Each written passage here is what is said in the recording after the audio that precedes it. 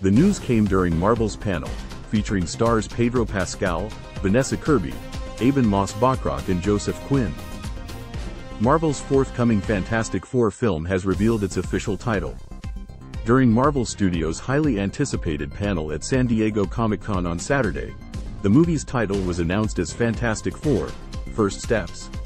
Additionally, Michael Giacchino, who won the Oscar for his score for Up, was announced as the composer on the film.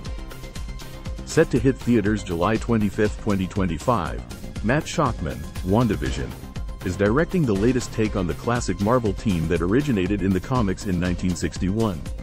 The movie stars Pedro Pascal, Mr. Fantastic, Vanessa Kirby, Invisible Woman, Joseph Quinn, Human Torch, and Ebon Moss-Bachrach, The Thing.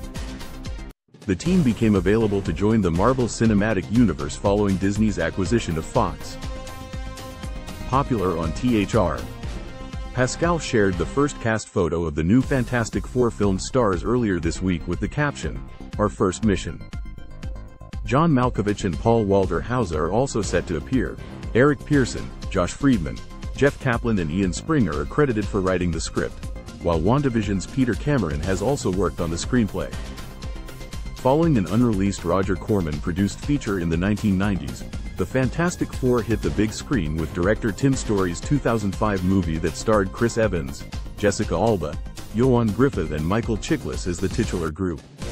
Although the film's box office success led to a 2007 sequel, the movie did not impress critics and has a 28% approval rating on Rotten Tomatoes.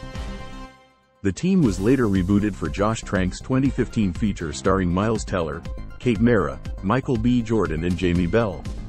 This one was less successful than the 2005 film, as it underperformed at the box office and holds just a 9% Rotten Tomatoes critical score.